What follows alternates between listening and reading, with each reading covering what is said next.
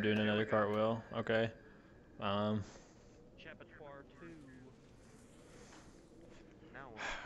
Okay. Okay. Here we go. Ah. Was it pretty? Did it look good? I couldn't tell. It didn't feel pretty, and my knees hate me. Because I did not put knee pads on before I started this stream, so I just like landed and was just like.